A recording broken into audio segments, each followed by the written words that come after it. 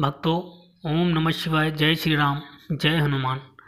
इस ज्येष्ठ मास के प्रथम बड़े मंगल पे आप सभी लोगों को बहुत बहुत शुभकामनाएँ और हनुमान जी से मेरी यही प्रार्थना है कि आपके जीवन में मंगल ही मंगल हो।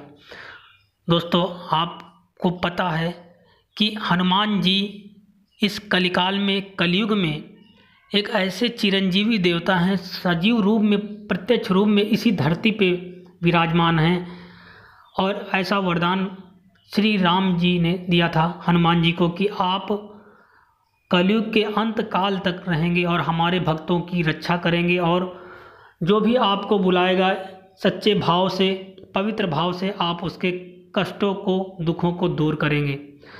आज भी हनुमान जी इस धरती पे हैं और अपनी तपस्या में लीन रहते हैं, लेकिन जब भी कोई भक्त दुख तकलीफ़ में होता है और उनको पुकारता है एक सच्चे मन से तो वो ज़रूर सुनते हैं और आते हैं। तो दोस्तों, मैं आपको एक बहुत ही छोटा सा मंत्र बताऊँगा और मैंने भी उसका बहुत एक्सपीरियंस लिया है। अगर आपको कोई भी दर्द हो, तकलीफ़ हो, आप परेशान हो, आपको भय हो, डर हो, चिंता सता रही हो तो आप इस छोटे से मंत्र का जाप शुरू कर दें। उसी क्षण मात्र में आपकी चमत्कार होना शुरू हो जाएगा और अगर आप नहीं मानते हैं तो आप करके देखिए, अगर आपको लगता है आप सही अवस्था में भी हैं, तब भी आप कर सकते हैं। देखिए, आपके शरीर में ऐसी एनर्जी, ऐसी ऊर्जा आ जाएगी। अब वो मंत्र मैं आपको बताता हूँ। उस मंत्र को ध्यान से सुनिए।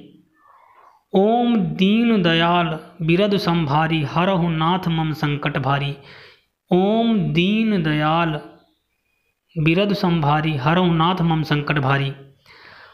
आप इस मंत्र का कभी भी संकट में हो, दुख में हो, दर्द में हो, तकलीफ़ में हो, इस मंत्र को करना शुरू कर दीजिए। आपकी तकलीफ़ क्षण मात्र में ही चली जाएगी। आप खुद कहेंगे, चमत्कार हो गया। आपको विश्वास तभी होता होगा जब आप करके देखेंगे। आप करिए तब पता लगेगा। इस मंत्र को माँ सीता ने हनुमान जी से कहा हुआ है। माँ सीता भी ये मंत्र बोलती थी। तो दोस्तों, और आज इस बड़े मंगल पे मैं आपसे एक और एक छोटा सा उपाय करने को कहूँगा। आप ज़रूर करें। आप सौ हनुमान चालीसा का, जैसा कि हनुमान चालीसा में कहा गया है कि, जो सतबार पाठ करे खो कोई, छूटे बंदी महासुख होई। जो या पढ़े हनुमान चालीसा हो सिद्धि साखी गौरिसा कि हनुमान चालीसा के जो सौ पाठ करता है उसको महासुख की प्राप्ति होती है और बंदी भी छूट जाता है और इसके साक्षी श्री शिव शंकर महादेव, माँ पार्वती जी के पति गौरी शंकर वो खुद साक्षी हैं। तो दोस्तों, आप इसका अनुष्ठान आज का दिन बहुत शुभ दिन है और आप किसी भी दिन मंगलवार को भी ये कर सकते हैं। ये अनुष्ठान सौ हनुमान चालीसा का ज़रूर करें आप और फिर आप देखेंगे कि आपके जीवन में कैसे बदलाव होते हैं, चमत्कारिक बदलाव। और आपको ध्यान करना है ये कि जब आप सौ हनुमान चालीसा के पाठ कर लेंगे, उसके बाद आप नियमित एक एक एक हनुमान चालीसा का पाठ डेली करना है बराबर। फिर आप देखिए कैसे चमत्कार होते हैं। आपको पहले सौ हनुमान चालीसा का अनुष्ठान करना है। आज का दिन बहुत सुबह तो ज़रूर कर लीजिए। दोस्तों, आपसे एक विनम्र निवेदन है, वीडियो के नीचे लाल रंग का सब्सक्राइब का बटन है प्लीज़ भक्तों, अभी दबा लीजिए और बेलाइकन की घंटी को भी दबा लीजिए, ताकि आपको बेस्ट से बेस्ट सनातन उपाय और धार्मिक चीज़ें मिलती रहें। तो आपको सौ आपको सौ हनुमान चालीसा का अनुष्ठान करना है मंगलवार के ही दिन।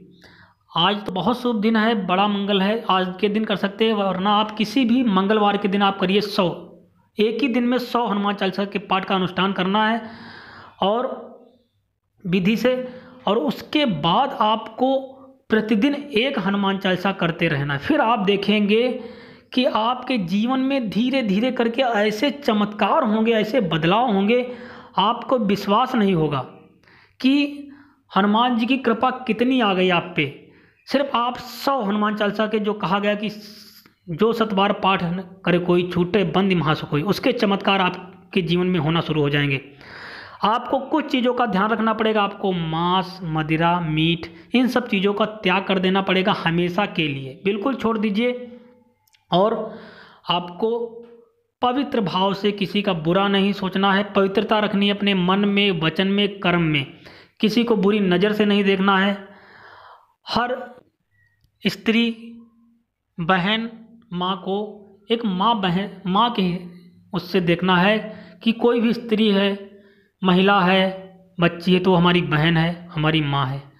ये भावना आपके मन में हो और पवित्र भाव से आप करिए और आपको तीन से छः महीने में आप अपने जीवन में ऐसे बदलाव देखेंगे कि आप फिर हमसे आप कमेंट करके कहिएगा। Thank you